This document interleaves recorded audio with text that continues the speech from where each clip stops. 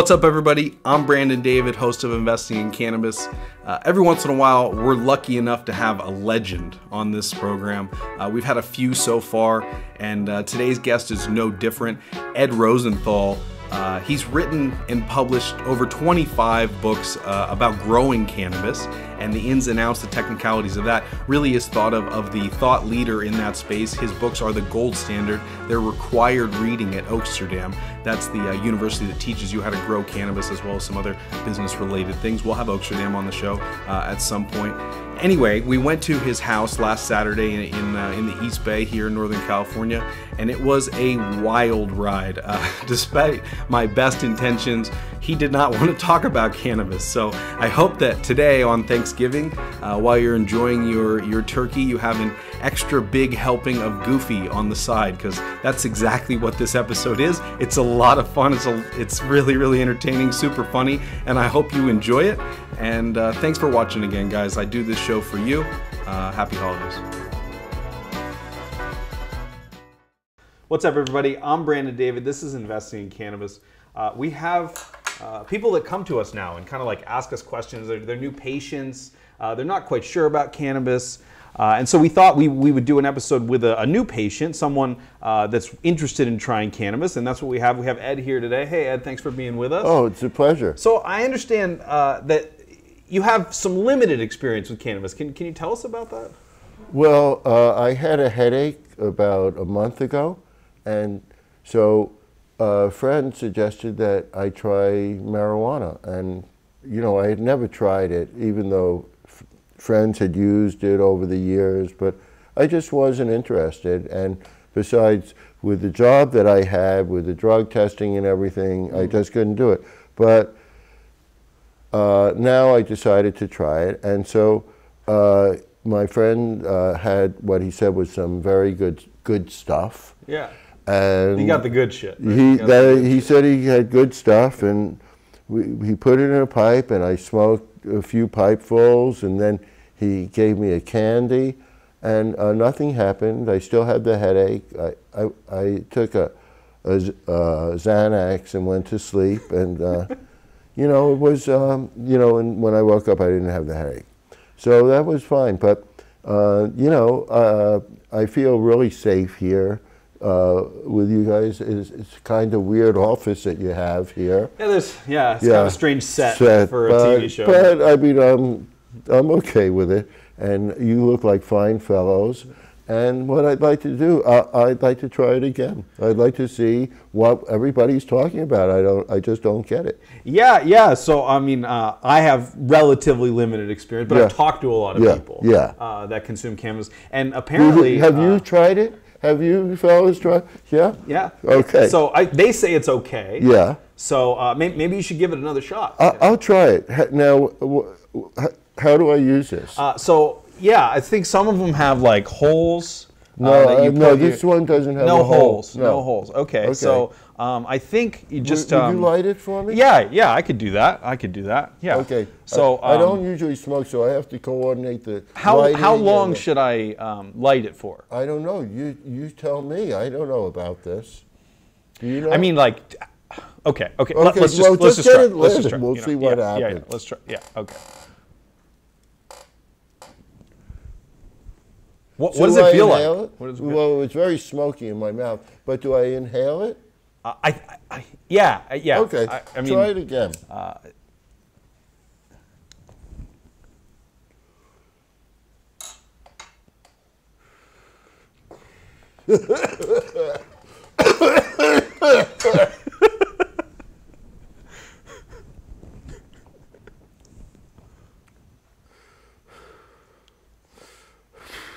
are you addicted? No, every everything's fine. Let's let's try one more hit. Let's try one more. Okay, just one more. That's what they call it a hit. Isn't that what they call it? I don't know. okay. I- well, let's Try let's again. Try Let's one try more. again.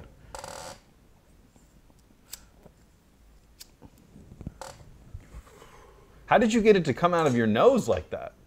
That was crazy. Comes out. Just comes in, out. Goes in, comes out. Like something about Clinton or something? Didn't he inhale or something? I think he No, forgot to. He forgot to inhale. Yeah. Which apparently Wow, is. this is really strange. Are you, are you hallucinating at all? I've heard that this could be, you know, sort of psychotic. No. well, I mean, you, you know, your ears are moving.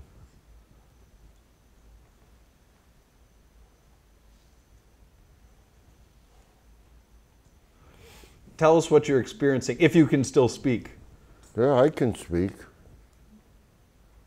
Are you able to blink? Oh, okay. So you still Yeah, I can blink. most sensory control. I just feel I have to watch you guys.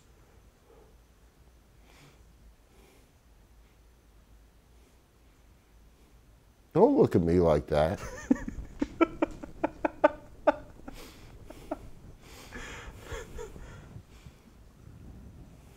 feels really weird.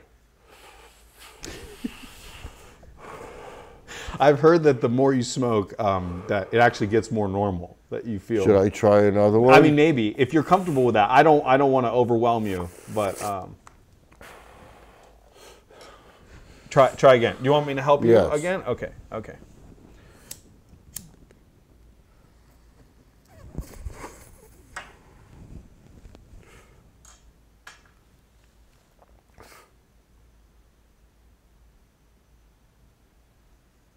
I think you're supposed to exhale too. That's that's a good part of it. Yeah. oh, yes, I have to breathe.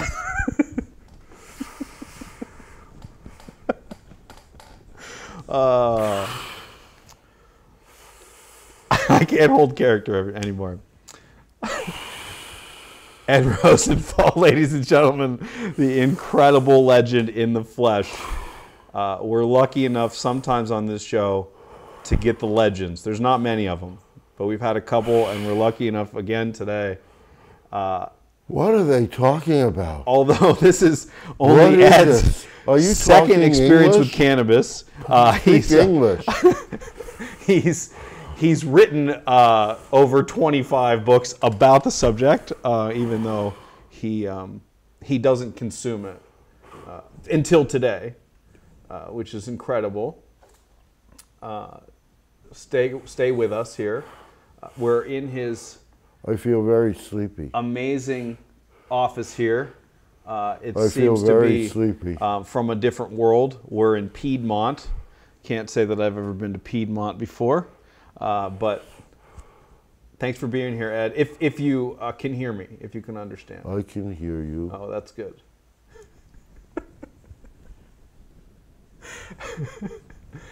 um, tell us about uh, your office here. There, there's so many beautiful, wonderful artifacts. I don't know where I am. I've never been here before. Uh, do you have GPS? We could check.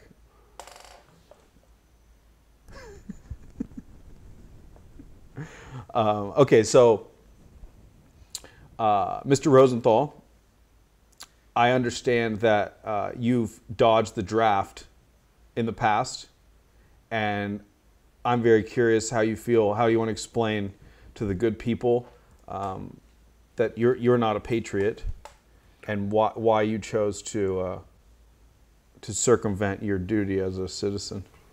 I did my duty as a citizen by avoiding war. All citizens who are not traitors have a duty not to go to war if your country is not threatened. Nobody's threatening the United States. Come back home. No one is threatening the United States. No. If all the American soldiers came back home and went left all of their foreign bases, nobody would threaten the United States. Hmm. Hmm. What about domestic concerns? Are there any threats at home? Yeah, the right wing, like McVeigh and those people, they're terrorists, and they haven't been recognized as terrorists, but they are. And there's a good contingent of, large contingent of them in the army. Um, should we have like an organization that certifies people as terrorists? How does that? How does one get recognized as a terrorist? Well, the first thing we could look at, at is PTSD in police and get rid of all of the cops who are should not be carrying guns. Hmm. So That's- maybe that's number a- one. Demilitarize the police. Yes. Let's start at home first, and then let's bring. What I have this. Okay, so I have this program that uh, I, I'll tell you about. it. Welcome back, Ed. Yeah, I'll tell you about this program. so, you know, um, the the last really great thing that Obama did was his inauguration. Okay. And you know, his inauguration, I don't know if you recall the first inauguration, but I'm pretty was- sure Jay Z and Beyonce were there, but uh, but uh, it was really cross-cultural. He, I mean, there were folk singers there, there was hip hop, there was jazz, there was, it, it showed the breadth of American culture. And I thought that was pretty good. And so I had this idea that, you know, there are American troops in 130 countries. Hmm. Did you know that? I didn't know that. Yeah, there are like 200 countries or something, and 130 of them have either American troops or some sort of American military aid. So wh- what I thought is that we should start getting out of all of these countries. And what we would do is get out of these countries one country a week. You know, you could start with the small countries and so you get training in how to get out and then just move out like But Ed, what about our No, let me finish. geopolitical? let me finish. So Leverage. So yes, I'm going to get into this. This this shows how we can do it. And for every country that we get out of, Mm-hmm. we have a lottery where the like uh, the 200 the uh, 130 biggest American cities are all put in this lottery. And and each week one is uh, some each week one is drawn out of the lottery and what happens is that they since closing the base is going to be an economic such an economic benefit in each case what we're going to do is have a celebration in that city much like the inauguration hmm. but it will feature a lot of it will be the talent from the city, and it will have artists, and there'll be cons- new construction for it, and there'll be plays. like Burning Man.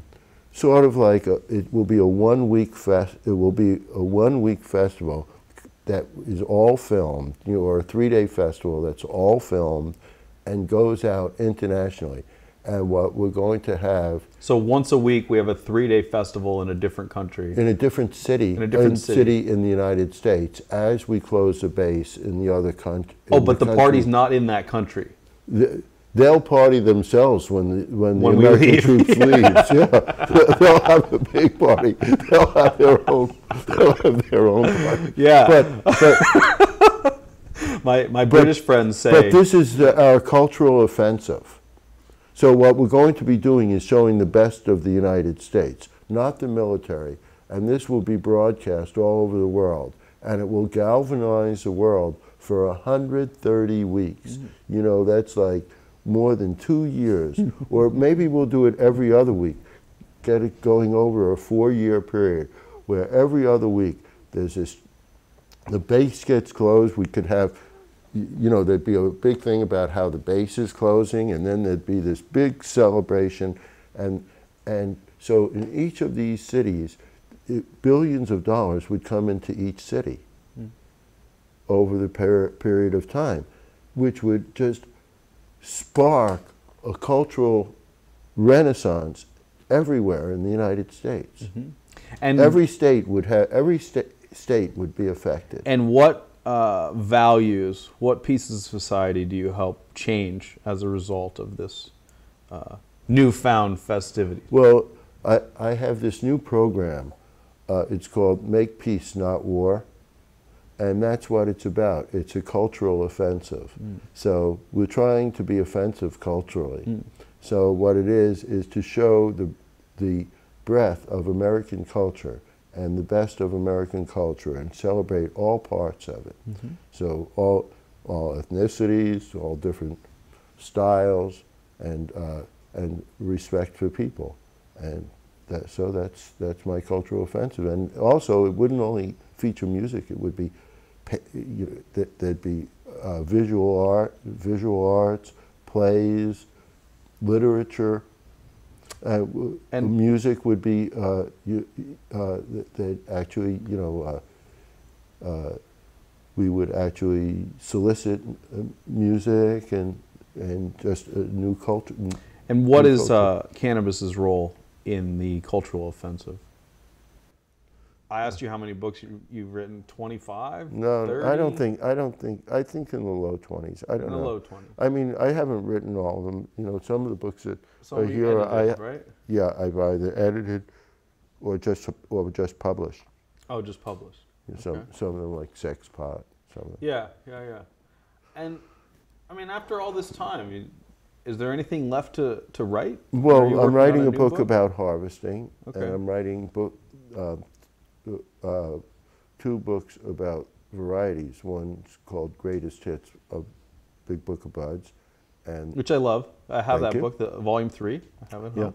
well, Who that- takes the, the pictures for that? Because the photography well, is amazing. well, the the um, photos f- of the varieties are submitted by the by the um, uh, by the breeders, but the photos of the in the articles, I I've taken up to now I've taken a lot of them, but um, and that's you, th- that's the articles in between the varieties, and uh, and then we get other photographers, and more and more I depend on o- other photographers. There's there used to there used to be very few photographers doing this work, Yeah. and now there are some really great photographers, and I'd rather give people the best photography rather than just having it be mine.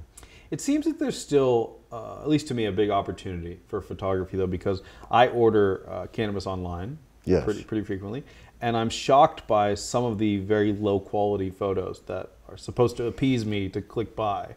Uh, I, I wonder why that is. Well, it's it's hard to photograph pot well. Is it? It is, yes. Okay. It's not easy because uh, unlike a, a flower like a lily, for instance, or another flower, which has, uh, or these chrysanthemums here, where the petals are solid. Um, here, can I get one of those? please? Yeah. Yeah. So here the petal is solid, so you can focus on, you know, on the petal and make make a some sort of compromise uh, on depth of field. But with a with a bud, it's much more. It, it can, especially when it's growing, it can be a lot more ephemeral. So it's hard to decide how how to actually photograph Or it. when to photograph it, right? Well, you can photograph it at any time, but you, you photograph it when it looks good. Hmm. It doesn't have to be ripe. Hmm. People like to see see it growing as well, but it's it's a question of getting that photography right. Yes. Got it. And why why did you write your first book? Why why did you decide that this was a, a good thing to do? Well, I had met uh, uh, What year are we talking about first? So paint the uh, set the scene here for us. it, it was uh, 19, probably 1971, and Rolling Stone. Well, first of all, I had decided to grow to develop these little uh, grow tents for, for growing pot. To develop those, and it was a little before before the time for that, but that's what I was Okay. working on. And uh, at the same time, there was this there was this Rolling Stone, which was relatively new at that time, Rolling Stone magazine. They had uh, for different cities, they had the, these inserts, these supplements that were local. And it, I was living in New York at the time, and they had an article on how to grow pot by this fellow, Mel Frank. And at the same time, I was trying to get publicity, free publicity in Rolling Stone for my grow tents. Uh, uh, and um, my the co my co uh, and so they said, "Would you like to meet this fellow?" And I said, "Yeah." And we met, and we decided to write a book together on how to grow pot, and that became fellow became the co-author of uh, the Marijuana Growers Guide series, and he's still active in it. He, Which is required reading at Oaksterdam, correct? Mm, No, that's uh, that was my first series. The, the second series, Marijuana Growers Handbook series, uh, is uh, is a, is that's the one that um, is most uh, that's used as a college text. And when I wrote uh, Growers Guide with Mel Frank, he, it said uh, there was a review in the New York Times, and it said that when marijuana becomes, uh, uh, by Sakalov, uh, who did the review, and he said that when marijuana becomes a, a becomes legal, that this will be a textbook for a common weed. And uh, as matter of fact, Marijuana Growers Handbook, the second series, is a college textbook. Wow. So, Wow, he was you know, right. At uh, He was right. Amsterdam Yeah, University. sure. Here, right here, I'll show you. Yeah, grab it. says it. See it right, right there. It says it right there. O- Oaksterdam University. And when New York Times does a review on you, yeah. do you know that- ahead of time, or it's a surprise? Well, it, it only it only happened once. Uh, I'm fascinated by um, your own cannabis consumption habits. It's probably my favorite thing to talk to guests about. Oh, I, I, I, I rarely use it when I'm sleeping. Right. Yeah. No. I either I- I I, make sure to either uh, consume cannabis on a weekday or a weekend. Yeah, I do. Yeah. Yeah. Same same Yeah. regimen for you. Yeah. Yeah. Especially um, uh, uh, any kind of uh, 24-hour period that ends in a day. Yeah. uh, Like Tuesday. there's also like like different kinds, right? Like there's Of days, or what? Are we talking about no every day or- is the same for me. Oh. But uh, no, I'm talking about uh, cannabis. Oh, cannabis That's days. the right word, right? Cannabis. Uh, Is that one 24-hour period in which you use cannabis? Is a cannabis day? Well, then that's just called the day for Oh. me. Anyway. Oh, you just shorten it. I just shortened it. Just to, it's assumed Yeah, the sun is up. yeah. It's a cannabis day. What if what if you what if you woke up before the sun was up? Would you wait till the sun I don't. got up? I don't do that. Oh, well, would you consider that the other day? I do. I actually I, Previous I day? consider uh, the end or start of a new day by my sleeping pattern. So I don't give a shit about the man The and they've told hour us period, that about stuff. no, no, no. Because if I don't sleep for two days, Yeah, that's all one fucking day for me. you know? one day. Yeah. yeah. I don't want to drive with you when you don't sleep for two days. I don't drive. Oh, okay. Yeah. Do you drive? Yeah. Why? Why do I drive? Yeah. Well, how or why? Would you rather? Because I didn't know there was different ways to drive. Uh, I didn't but- say there was. you said how do you drive? I want to know both how and why you drive, and where and when. Do you have a little form for me to fill out or something? I don't. I don't use paper, No. rolling papers, but um, I actually So can't write either. I'm, my penmanship is. Uh, I'm devoid Well, I mean, it could you could email me the form or Yeah, you know yeah, yeah. I could do that. text it to me or something. I could do that. Yeah. Do you have Snapchat? You know, I do have Snapchat, but uh, Do? I don't use it. Yeah. I use it when I'm out of the country. Be- because Uh, because it doesn't cost anything. Snapchat. Yeah, Snapchat's free in the U.S. too. that's right. That's why I use it when I'm out of the country, because in the country, you know, telephone is free anyway. Oh, oh, yeah, that's true. Yeah. That's true. Like when I'm in another country, I use Facebook Messenger because you can't text, you know, because it's more expensive. That's what you mean. Yeah. Huh. Where's your favorite place in the world besides Piedmont? favorite place. Well, I like the Himalayas a lot. Huh? Yeah. Okay. And I was really fascinated by China because, like, in 20 years or 30 years, they took a rural agrarian country and made it into a modern Mm. middle class culture. That's fascinating. Yeah. While we're trying to do the opposite. How's the food in China? Wow. Hmm. Well, first of all, it's you know I've been to both India and China, and in, in India, you each time that you choose a restaurant, you have to go through you know sort of a checklist. Does this place look like it's clean? Did they safe? email you the checklist? What? Did they email you the checklist? No, no, I, no. I in your head. Oh, you know, you go through. checklist. Don't you go through a checklist? Should I eat in this restaurant? Sometimes, in the U.S. I mean, you know, do I want like the food? Would I like the food? Does it look clean? You know, does it? You know, oh, it has a C rating. Maybe I shouldn't eat there. You know, something like that. Well, in. How in- does that work? Do you know how the uh, no, the but scores work? I don't know. Because I'm very but in. India, in India, you know, when you when you decide if you're if you're not familiar with a restaurant, Mm-hmm. you want to go through this mental checklist of is this food going to make me sick? You Mm. know, that's the ultimate thing. And in China, it everything's immaculate.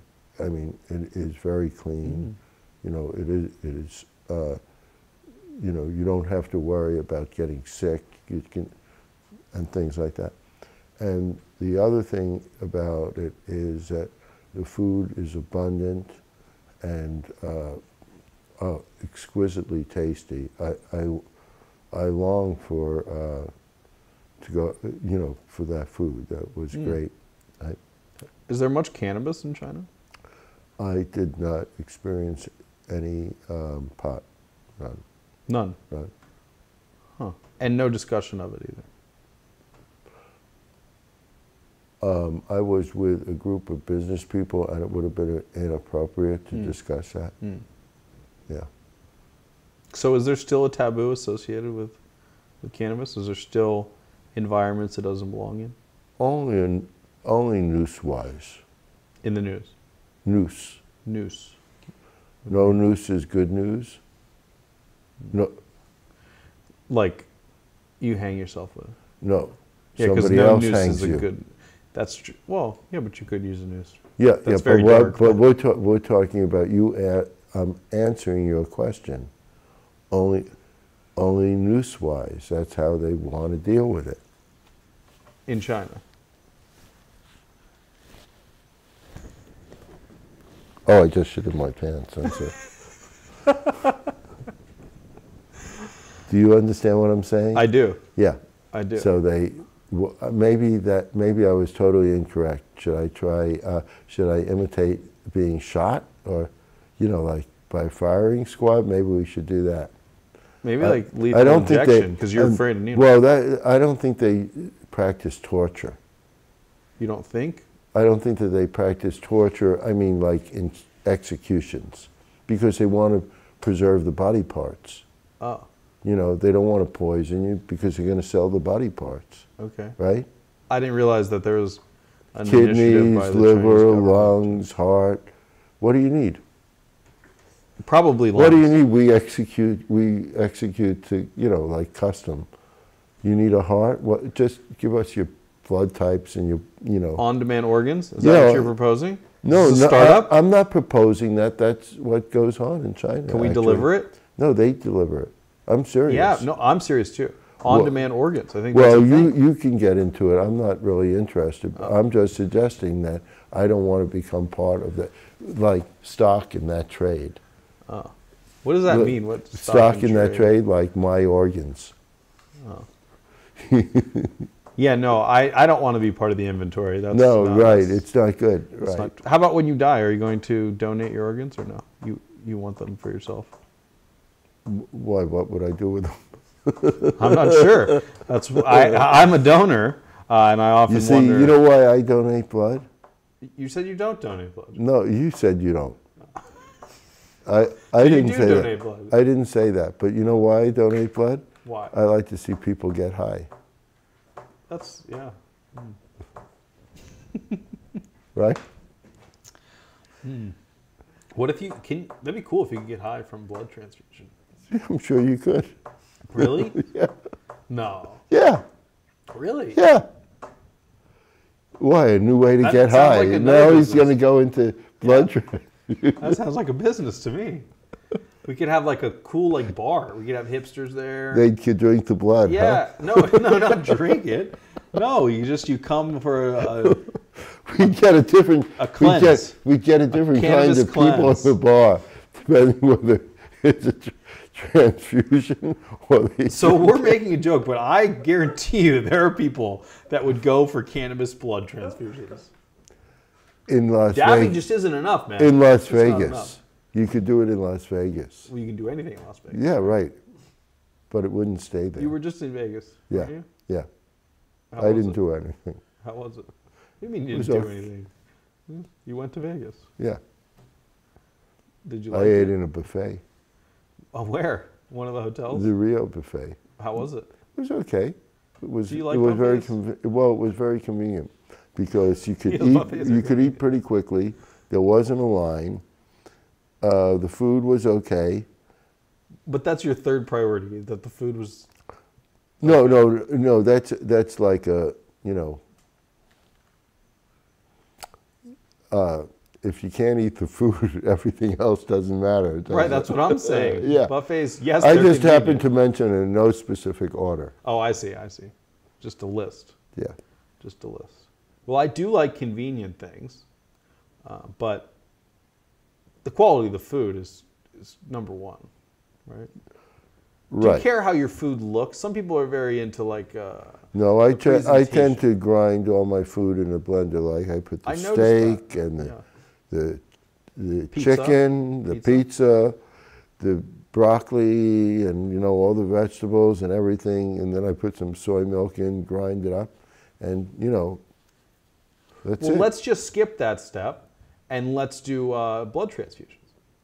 you could You don't have to blend anything up. We'll just give it. To I, I think that what maybe what we should do is bypass Our the- hearts. No, the th- the the throat area and just like inject food right into the intestinal system directly. But then So you pass your your you- taste so, buds. So right, That's yeah. the best part. No, people wouldn't have to waste time. You know, eating. I don't think of that as a eating or drinking time. See, or what I like that. do, They could work full take care- time. I don't wanna They go to the bathroom They wouldn't anymore. have to. They wouldn't have take to. care of that? They would. Well, probably. We wouldn't. Ha- Probably. They wouldn't have to go to lunch. No, but You know, you- they could work full time. lunch. No, they could work You full. must. They, they don't have to go to lunch. Not if, like, at specific feeding time, you press a button and the stuff goes in. You know, they're fed. Sort of like they do geese that they're trying to make pate from. You know, Do you like Uh, pate? that's not. That's we're not talking about that. We're talking about What are we? the. We're talking about the automatic feeding tube for humans. That that you've wanted to do all your life. I do. I want that. I want to have that. You and know, because it, it, it makes Soylent it makes Soylent look, you know, like what do you think? Tell us your thoughts on. well, well, I think that as compared with automatic intestinal feeding, Soylent is is back in the 21st Yeah, century, wow. in early 21st century, Yeah. and we have to move on from that. drinking something that's just like It's so so it's so inefficient. it's so 20th century, you know. yeah. Yeah. You know, they did that in the 19th century too. They they What? drank, you know, like liquids. It's crazy. instead of getting it intestinally. It's hard to believe. You know what's hard for me to believe is that we we drink water. That's right. Because like we need water so much. Why hasn't someone just figured out a way to keep us hydrated? You know, I need I'm like a pump, right? I need a pump, like a That's right. Ex- exactly. And that is what the intestinal pump does. It, it's an automatic hydrating because it's measuring the amount of water in your system and it keeps How it level it at all times. What- what's a it's MSRP only on 200 an It's only $250,000 to get Ten it. easy payments Yes. of twenty five thousand dollars. That's right. And Is there any financing options available? Yes, there are. Okay. Yeah, there are. You could you could stretch it out over a hundred payment period. So it's only 2,500 plus interest. So this is a lease for the rest of your life. No, basically. it's 10, eight, to eight to 10 years. And then, um, uh, and then there's Is a there interest maintenance like a mortgage? Or? Well, it's sort of, yeah. We take it back if if you don't make it. It's very, it's very rough because Can we I'm sad to say that we have not been able to get trained doctors can can we to combine remove those these. So we have had to use, uh, you know, did you ever see that uh, bail uh, guy dog? the bounty hunter. Yeah, we use him to repossess these. Oh. Okay, so he comes to your house Hmm. and rips the intestinal pump out of you if you're delinquent. No, his on wife. His wife has learned how to She's remove scary. them. She has learned how to. He just holds you down. He sits on your face. Mm, Not exactly, but he holds you down, and she removes it, and then they How is uh, it patch done? it back if up. I lay down, could you show I, me? I how don't know exactly. I haven't seen the uh, videos on that.